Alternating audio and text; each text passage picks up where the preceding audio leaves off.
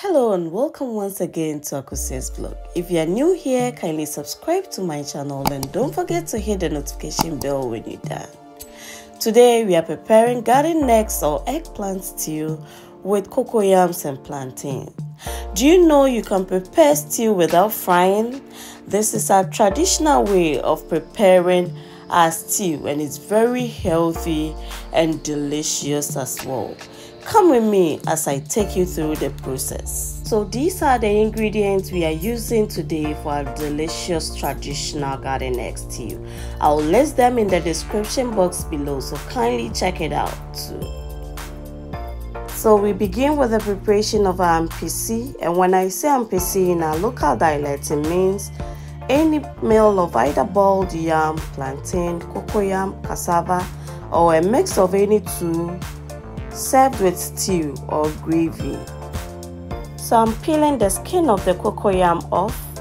We have two types of cocoyam. We have the red or the pink and then the white type. If you have the white type, feel free to use it as it's also okay. But then today I am using the pink skin cocoyam. If you are cutting and you see any black stuff or any um, black it's not spoiled. You just take it out and then you continue with your process. When you are done you scrape the skin off like i'm doing. This is optional but then i want it very soft. In Twi we will say eh? you do it this way. So you cut it into smaller sizes and then you continue with the process now I'm cutting it into smaller sizes because with cocoa yam it's a bit harder than uh, yam so it's better you do it this way. You continue with the process till you are able to take all the skin of your cocoa yam off. Now do you know that we get our kontomire from this very root or tuber? I bet you didn't know. So when you are in short of blood, our kontomire is very good for boosting our blood levels too. So kindly eat it if you have it in abundance.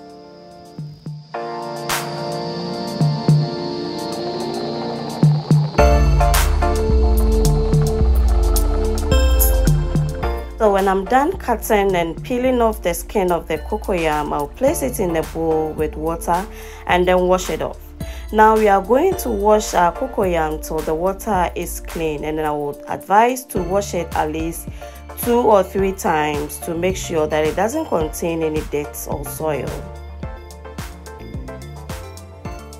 So I'll rinse it one more time and add another clean water to rinse it before adding it to my saucepan to bring it to a boil.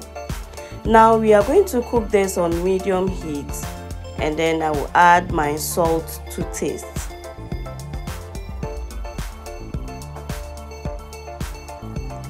Now I'm going to drop my washed eggs into this. You can cook the eggs separately but I prefer to add it to this one and then cook it.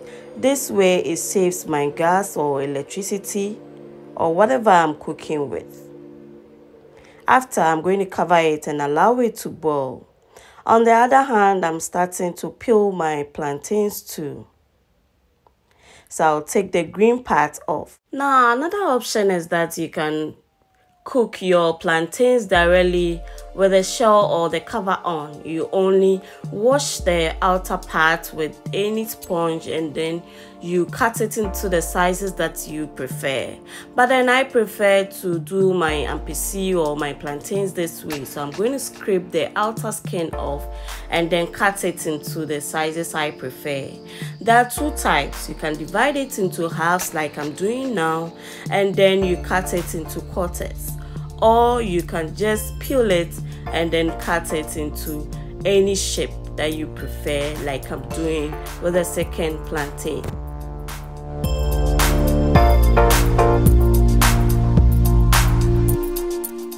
All this while uh, our cocoyam is also boiling so I'll hurry and then add my plantains to it. Look at how beautiful it's boiling and then I'm dropping in my plantains to allow that one to also cook. When I'm done, I'm going to cover it with any rubber and then cover it with my lid to continue the process. The rubber is optional, but then traditionally we use it to retain the heat. Cover it when you are done to allow it to cook till it's soft. Now when I'm done, I'm cooking my garden eggs and my pepper too.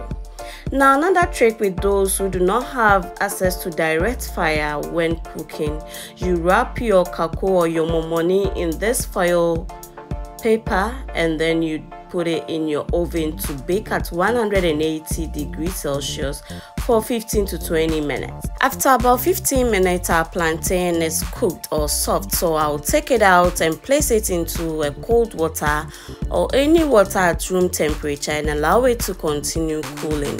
Now we put it back into cold water because we want to have some crunchiness. I don't know how to explain that in English, but then in Twi we say So if you know the English word for that, kindly tell me in the comment section. So cover it and allow it to continue cooking whilst adding a little bit of salt to this one. We'll check on our garden eggs is cooked so I'm starting with grinding the pepper and some onions. Now when I'm done, I will put the garden eggs in and continue grinding. I'm using roasted peanuts here. You can also use peanut butter if that's what you have and then continue with your grinding process.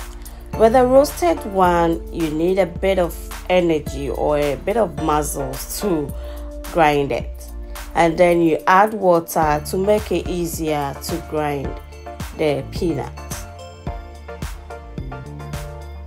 So you continue grinding till it's very smooth before moving on to the next section.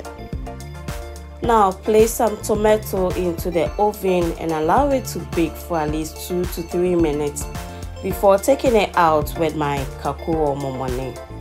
Now our cocoyams are ready so I'll take my eggs out and then strain the water from it and also take our kako out of the oven. Now look at how it turned out to be. So I'll add it to my stew and then continue grinding it together. This stew has no formula, so do it or add any of the ingredients at any time that you feel is okay. So I roasted my herrings and then added my tomato that I baked in and then grinded everything together. Don't forget to add water to the stew. That way, when you leave it for some time, it will not cake. Now in another saucepan, I'm also going to fry or heat my palm oil and then chop some onions into it to give it some aroma. Now when the onions are almost golden brown, I'll take it out of the fire and pour it directly onto my grinded stew. Is this not healthy to make? This does not contain any artificial additives, neither does it have any preservatives. We are eating this in its natural taste and it's so healthy to eat. Thank you lovely people for watching my channel. Don't forget to leave your comments, share and subscribe to my channel. Bye bye.